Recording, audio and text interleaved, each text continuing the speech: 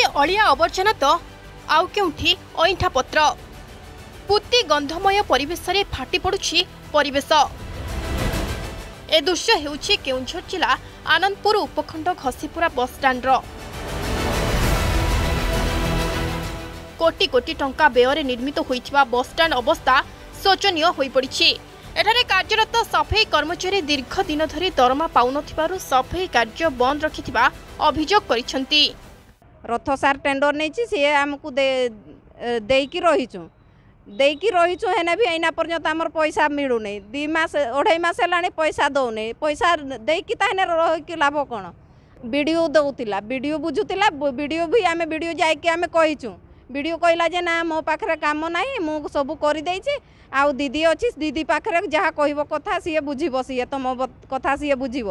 ଆଉ ସରୋଜ ସାର୍କୁ କହିନୁ ସିଏ କହି- କେତେ ଥର ଯାଇକି ଆମେ କହିନୁ ସରୋଜ ସାର୍ କହିଲା ତମ ଗୁଣ ବୋଲି ସେଇ ଭିଡ଼ିଆ ହେଉଛି ପଇସା ପାଉନ। ତାହେଲେ ସାର୍ ଆମର ଗୁଣ କ'ଣ? ସେଇଟା କୁହନ୍ତୁ ଆମର ଗୁଣ କ'ଣ? ଏଇଠି ଆସିକି କାମ କରୁଛୁ ବୋଲି ଆମର ଗୁଣ କ'ଣ ଖରାପ ହେଲା ନା କ'ଣ ଏଇଠି ଆମେ କ'ଣ ଭୁଲ କାମ କରୁଛୁ ବୋଲି ଆମର ଗୁଣ? ନା ଆମର ପୁରୁଣାର ପାଞ୍ଚ ହଜାର ଆଉ ନୂଆ ଲୋକର ଦଶ ହଜାର ନେଇଛି। ସେ କ'ଣ କହୁଛୁ ନା ତମେ ଇଏ ପ- ପଇସା ଯଦି ଆମକୁ ମାନେ ମାଗୁଛନ୍ତି ଆଁ, ଏଇ ଚାକିରିର ଭରେଇ ଦେମୁ ତୁମକୁ। ଆଉ ଆଉ କେମିତିରେ ଏଇନା ଆମେ ଚଳିବୁ ଆଉ କ'ଣ? ଆମେ ତ ଧାର ଉଧାର କରି ଆମେ ଖାଉଛୁ ସବୁଆଡ଼େ ଦୋକାନ ଫୋକାନ ଆମେ ବାକି ଧାରତି ଅଛି ଧାର ଉଧାର କରି ଆମେ ଖାଉଛୁ। ଏଇନା ଆମେ କ'ଣ ଚାହୁଁଛୁ? ଆମେ ପଇସା ଆମେ କେଉଁଦିନ ଆମକୁ ପାଇବ ପଇସା ସେଦିନଠୁ ଆମେ କାମ କରିବୁ ନହେଲେ ଆମେ କାମ କରିବୁନି। ସାତ ମାସ ହେଲା ସଫେଇ କର୍ମଚାରୀଙ୍କୁ ଦରମା ମିଳୁନଥିବା ଅଭିଯୋଗ ହୋଇଛି।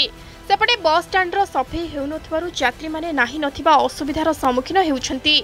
ବସ୍ ଷ୍ଟାଣ୍ଡର ଶୌଚାଳୟଠାରୁ ଆରମ୍ଭ କରି ବିଭିନ୍ନ ସ୍ଥାନରେ ଜମି ରହିଥିବା ଅଳିଆ ସମସ୍ତଙ୍କ ପାଇଁ ଦୁଃଖର କାରଣ ସାଜିଛି। ବସ୍ଷ୍ଟାଣ୍ଡ ପାର୍ଶ୍ୱ ଦେଇ ସ୍ଥାନୀୟ ଲୋକେ ଯାତାୟାତ କରିବା ମଧ୍ୟ କଷ୍ଟସାଧ୍ୟ ହୋଇପଡ଼ିଛି।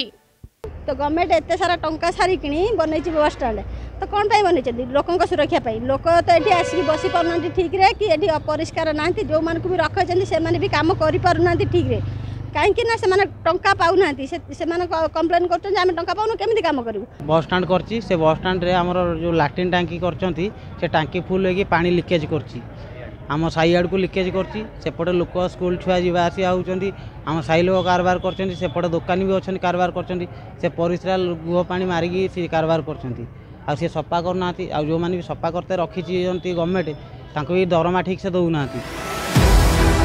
ବସ୍ଷ୍ଟାଣ୍ଡର ସଫେଇଠାରୁ ଆରମ୍ଭ କରି ସୁରକ୍ଷା କାର୍ଯ୍ୟ ତଦାରଖର ଦାୟିତ୍ୱ ଓଏସ୍ଆର୍ଟିସି ତରଫରୁ ବ୍ଲକକୁ ଦିଆଯାଇଥିଲା। ଚାରି ମାସ ତଳୁ ଏହାକୁ ଟେକ୍ନୋ ନାମକ ଏକ ଠିକା ସଂସ୍ଥା ନେଇଥିବା ବେଳେ ସମ୍ପୃକ୍ତ ଠିକା ସଂସ୍ଥା ନାଁରେ ଅଭିଯୋଗ ଆଣିଛନ୍ତି କାର୍ଯ୍ୟରତ କର୍ମଚାରୀ। ସେପଟେ ତୁରନ୍ତ ମହିଳା ସଫେଇ କର୍ମୀଙ୍କୁ ଦରମା ଦେବା ସହ ବସ୍ଷ୍ଟାଣ୍ଡର ସଫେଇ କରିବା ଜରୁରୀ ହୋଇପଡ଼ିଛି। Anandpur Satyajit Sahu report, Argus news.